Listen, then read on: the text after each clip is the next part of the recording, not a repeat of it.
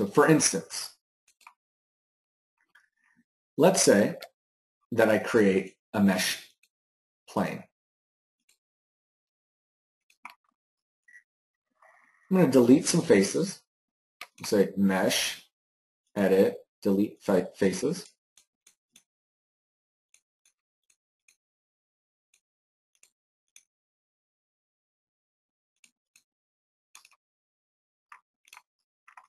I'm going to mirror this over. let's say as I'm modeling, I'm just, I'm kind of just going and just doing some things.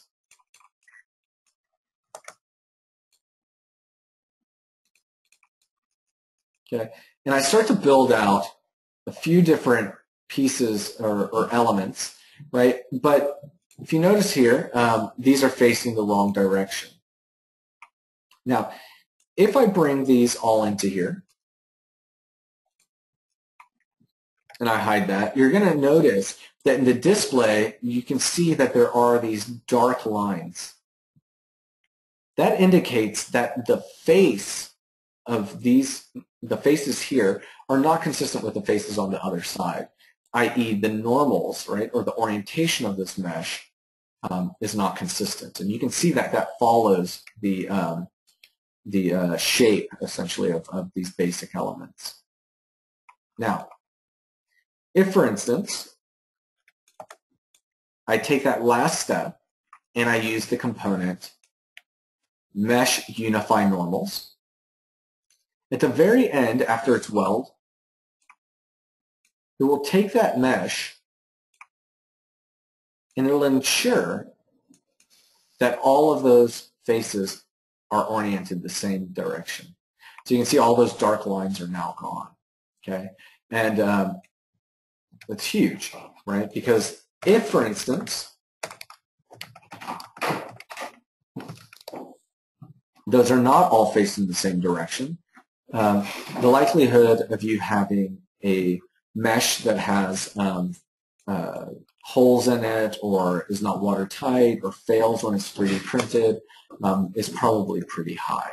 So you want to try to avoid that uh, as much as possible. So I'm just going to delete this and go right back over to my um, my mesh component again. And, uh, and I'll just set those in here. Excellent. Okay, so that, that's what's really going on with that last step, that unify normal step here.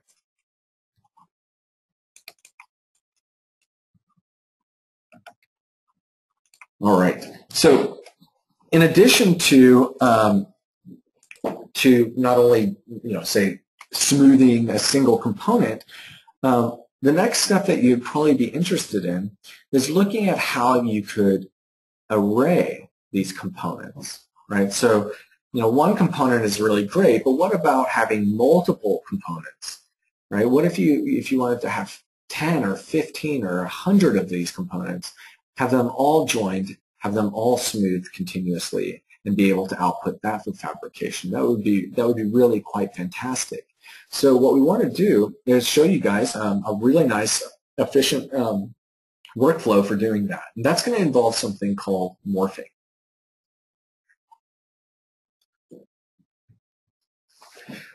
So morphing is the smooth transformation of one entity into another. And that's typically achieved through the sampling of a base in a target space. Here you can see on the far left um, a kind of simple primitive, and on the far right, that primitive after it's undergone um, some transformation. Everything in between is the interpolation from the left to the right. So this is component morphing. So when we're talking about these mesh primitives and you know the subdivision surfaces, what we're really talking about are components. And components are really a fundamental aspect of parametric thinking.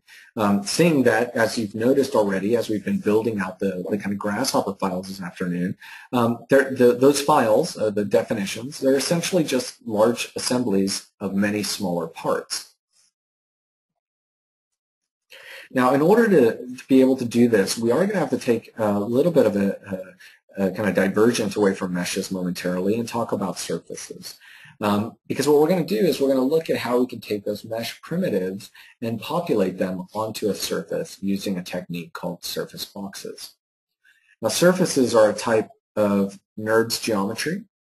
Uh, they're defined by a two-dimensional parameter space. So someone had asked earlier about the uh, UV space of a mesh, and no, meshes do not have a UV space the way that surfaces do. Um, uh, they're a connectivity network uh, vertices arranged into collections of basic elements or faces.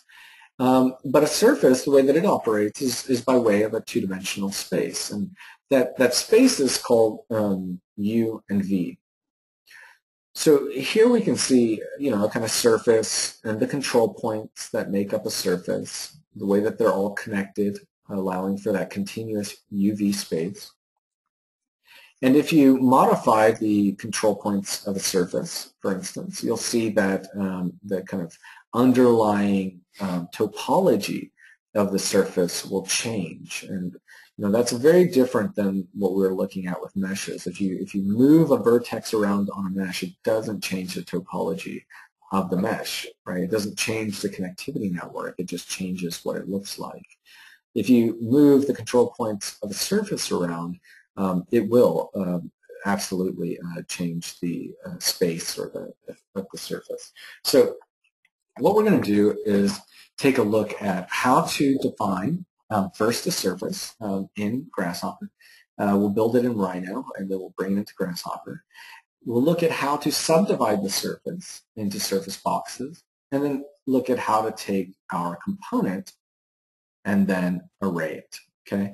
Now, the kind of variation that we're going to be looking at is referred to as an implicit variation. So the kind of deformation of each one of our mesh primitives will really be derived from the underlying surface. Um, so the control will be really at the level of the component, um, what it looks like, and then the surface, uh, kind of what its shape is, um, and, and then all the uh, arrayed components will really be a byproduct of, of that interaction. So let's go back over here to Rhino. Now, in Rhino, if I copy my component over, you'll see that these are still separate elements.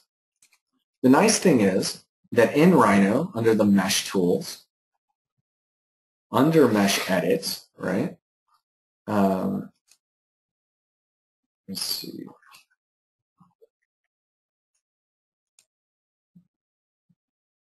okay, um, it doesn't seem to be in here. Let's see, edit, join. I guess we can just use the regular join. We can do the same thing we did in Grasshopper. So if you remember in Grasshopper, we, we said join, weld, unify normals. And in Rhino, what we're going to do is we're going to just take these three and we're going to join them. Edit, join. So that three meshes are joined into one. Okay, so this is now one mesh. And that'll just really help us out a lot when we start to move into uh, populating them so that we don't have to keep track of each one of these as separate elements, but instead we'll just have this one element that can be distributed. So this is our mesh primitive, right? This is what we want to bring into Grasshopper.